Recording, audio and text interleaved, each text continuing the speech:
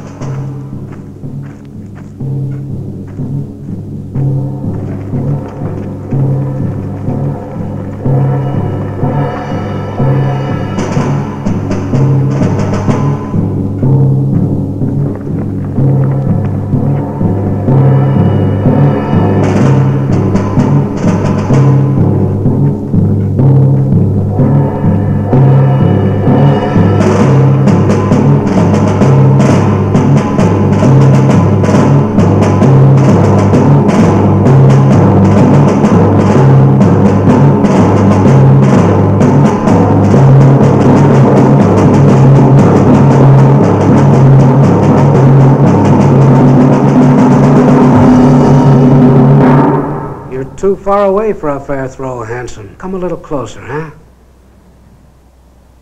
Just a little closer. You wouldn't want to disappoint your friends. They all came here to see blood.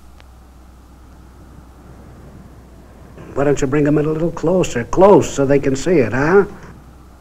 Please, Hanson. Five steps. Two steps. One, Hanson. Just one step. Just close enough so you can get a fair chance with that meat hook. How about it, Hanson?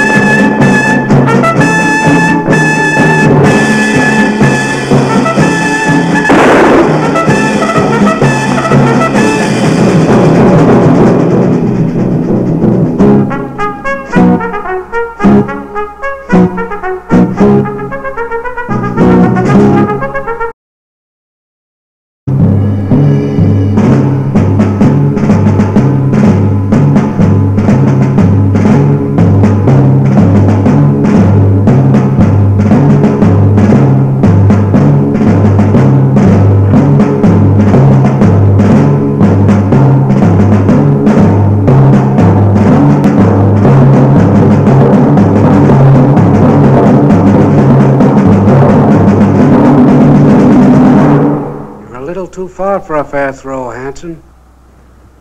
Come a little closer, huh? Come on, Hanson. All of you, come closer. You wouldn't want to disappoint your friends, Hanson. They all came here to see blood. Why don't you bring them a little closer? Close so they can see it, huh? Please, Hanson. Five steps. Just five steps, Hanson. Two steps.